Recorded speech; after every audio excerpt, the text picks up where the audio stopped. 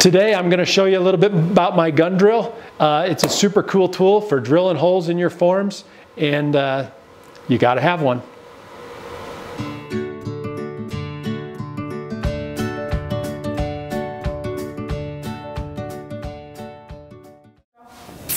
Hey, I'm Trent Bosch. I want to show you how uh, to use my gun drill. So the gun drill is a great tool for drilling deep holes in our forms. I use it mainly for starting my hole in my hollow form. Just gives me a really nice straight line going down to the center, um, allows me to know about where my depth is going to be in my forms, and um, gets rid of that center nub that's always so difficult to deal with. So the gun drill is a tool that basically, it looks like a gouge almost. You know, as far as the tool itself, it has a flute. Um, this particular uh, tool has a carbide tip on it and it's ground in a way that allows for air to pass through this whole tool and then evacuate the shavings as we're drilling those this this hole. So it really allows us to you know drill a very quick, easy hole in the material.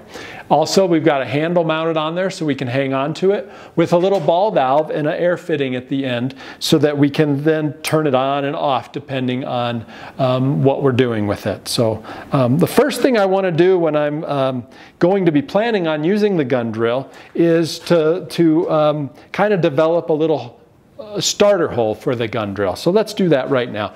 I've just kind of mocked up a piece real quick here, uh, just a cylinder. It could be a lamp, it could be a, you know, a hollow form, it could be a bowl, it could be whatever you're planning on um, drilling this hole through. Um, but the, my, my first step is just to kind of clean up the face a little bit. Once I get it cleaned up enough that I am going to be ready to start working on it, I'll get rid of my tailstock.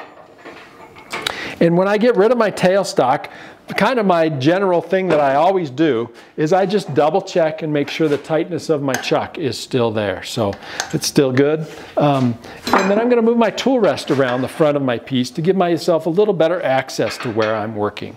And let's go ahead and take a cut across the face of here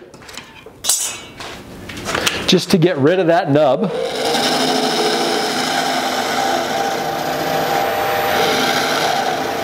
So we've gotten rid of that little nub there. And now what I'm gonna do is I'm gonna use a little spindle gouge and I'm gonna set the heel of the bevel down on that spindle gouge. And I'm just gonna take and cut a couple of um, little, I guess I would call them V's.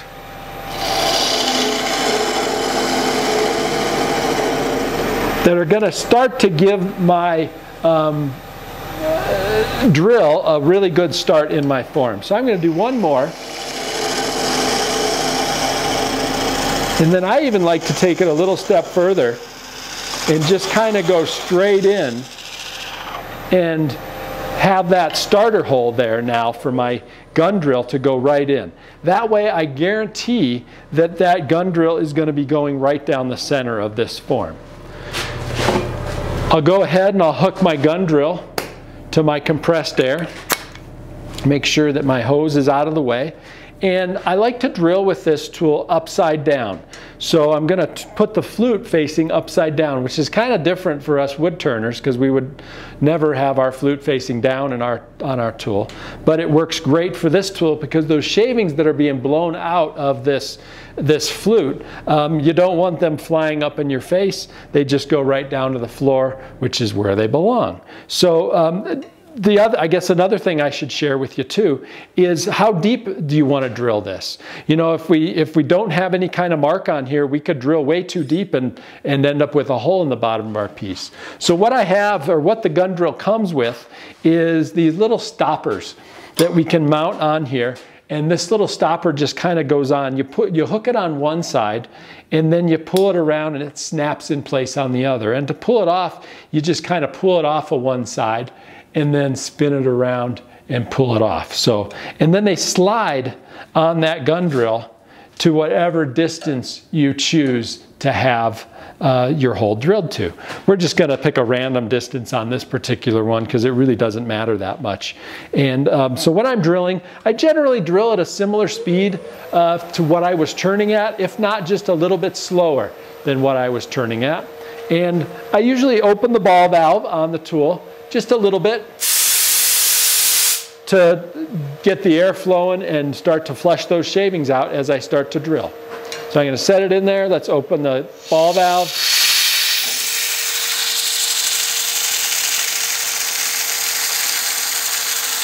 Just feeding it right down there, down to my stopper.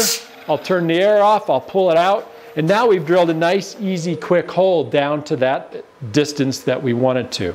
Um, super quick, easy tool to use um, but drills really, really efficiently in these materials.